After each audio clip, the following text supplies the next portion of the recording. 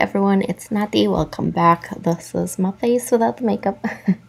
I didn't feel like wearing makeup today, so I didn't put anything on.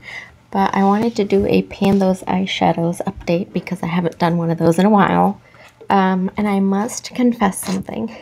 I'm down to three eyeshadows because one of them I just was not using very much.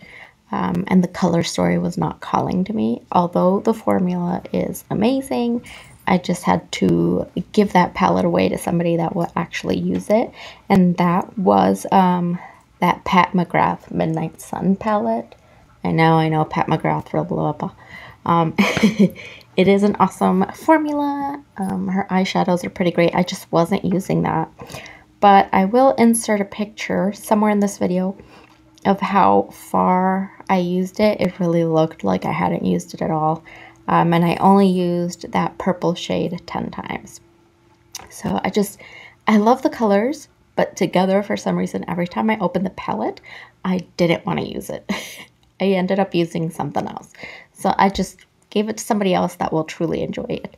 So that shade 10 times. Um, I'm not going to replace that eyeshadow at this point just because I am working on the Project Level Up and the That palette. So I feel like I have enough projects going on that I really don't need to add another shade right now. So I am down to three. Um, the next one is the one that I've used the most. I am so close to the 20 uses for this one, but this is the Aether Beauty, um, I forget what it's called, but it's the Jewel Toned palette, and it's this pink right here. So if you can see, I've got a great dip in there.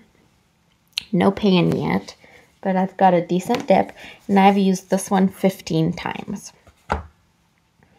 Um, then Melt, recently deceased. Still working on this one, so I won't roll anything else out. Um, but I'm working on this shade right here.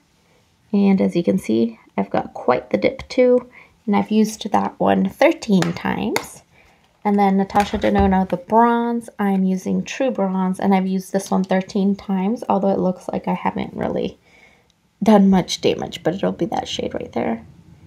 So I am hoping by next time I will have for sure rolled this one out, and I will roll in a new shade. And maybe I will um, get close to rolling all of these out. So yeah, um, stay tuned. We are making good progress with this. So I am down to three shades. Um, if I choose to add a new shade, um, I will update you all in the next video. But I think for now, three is working for me. Um, so anyways, that is that update, and I will see you next time. Bye.